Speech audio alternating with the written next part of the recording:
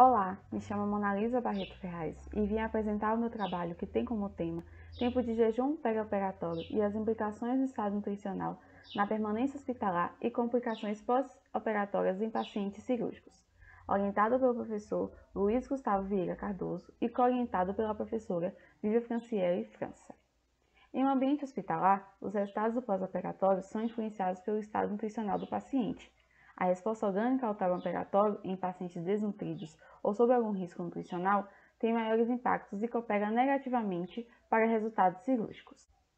Fatores como o aumento da necessidade nutricional, o comprometimento da absorção e do metabolismo dos nutrientes e períodos prolongados de jejum podem levar a uma perda de peso significativa ao paciente, levando à desnutrição.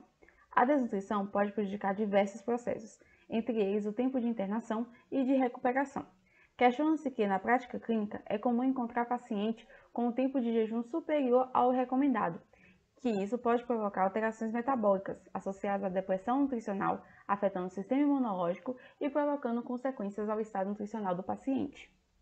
Assim, este trabalho tem como objetivo investigar a relação entre o estado nutricional, o tempo de jejum e de hospitalização dos pacientes submetidos a intervenções cirúrgicas no hospital público localizado no estado da Bahia. Esse estudo trata-se de um estudo transversal, observacional e descritivo, e foi realizado no Hospital Geral de Vitória da Conquista, localizado na macro-região do sudoeste da Bahia.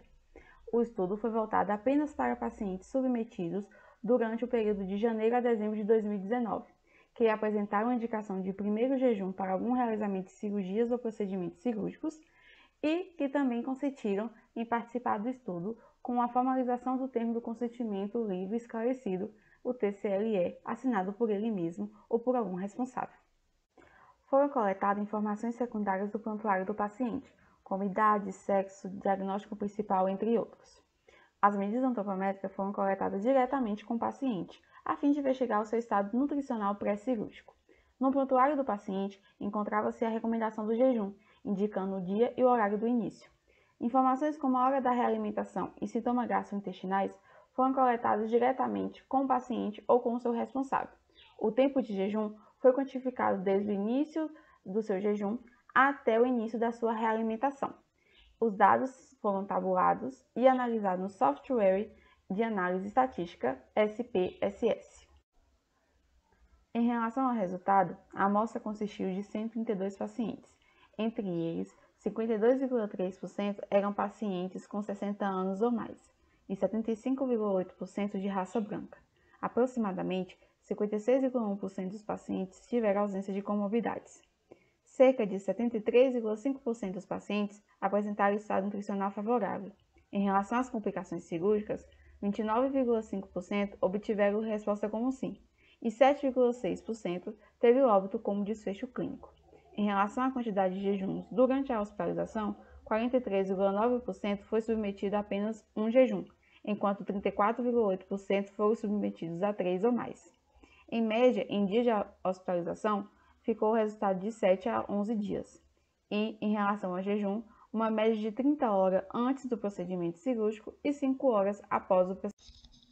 Observa-se que, na faixa etária, pacientes com baixo peso são predominantemente e estatisticamente mais frequentes entre pessoas de 60 anos ou mais, sendo assim um grupo de idosos. Também na categoria do desfecho, entre pacientes com baixo peso, observou-se mais óbitos em relação aos pacientes com peso adequado ou excesso de peso.